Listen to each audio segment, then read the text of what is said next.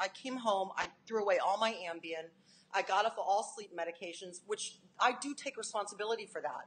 If you are somebody that for three years is dependent on Ambien, that's not healthy. It's not healthy. So I guess this for me was a wake up call to just get off of all meds. And that's what it has done for me. So, like I said, my life has gotten a lot better since this happened because I have, I like I said, I've grown. I've just grown tremendously. I go to church now. I've got a better relationship with God. I mean, everything has improved in my life.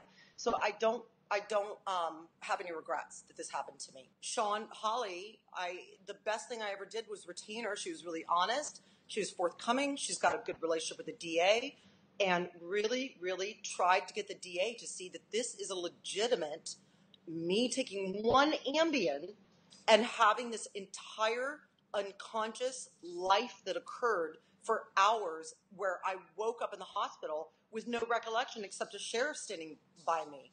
I mean, I don't remember anything. And even going over the police report, I was shocked. I, I didn't recall any of it, and I still don't. I got to tell you, as I was sitting in my jail cell, I said a prayer and I said, Thank you, God, that I wasn't a black, young black man because they would have shot me. And that's my opinion.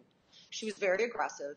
She could tell I was out of it. I was not really lucid. I wasn't able to communicate with her much. And I just am, that's how I feel because I feel that's the climate of how the police is dealing with things around the country. So I was feeling blessed that that was not my situation because I truly think it would have been elevated.